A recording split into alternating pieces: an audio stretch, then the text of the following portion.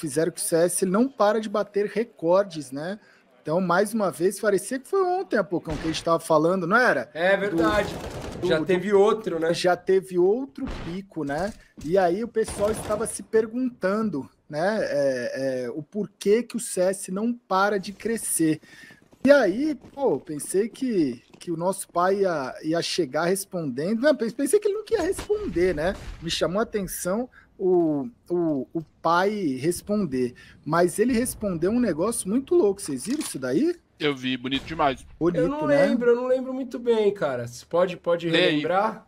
Cara, o, o CS respondeu que as pessoas gostam de jogar CS porque leva minutos para entender e uma vida para masterizar.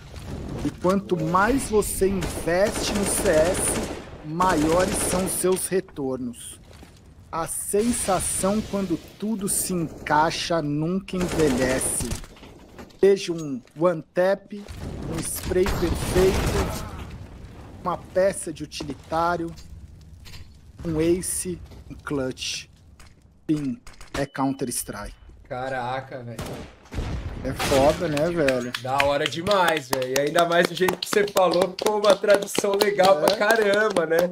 Cara, Cinemática, resumiu de um jeito que nunca conseguiria e é muito perfeito, né? É. Emocionante. Tipo, é muito rápido pra tu entender o jogo e poder curtir ele. E você nunca e, vai masterizar. E você nunca vai masterizar porque é muito difícil e complexo é... também. E toda é. vez que você consegue fazer uma micro jogadinha good, uma, ou consegue, né? Você uhum. tem aquela sensação de recompensa muito boa, velho. É, é louco, velho, é louco.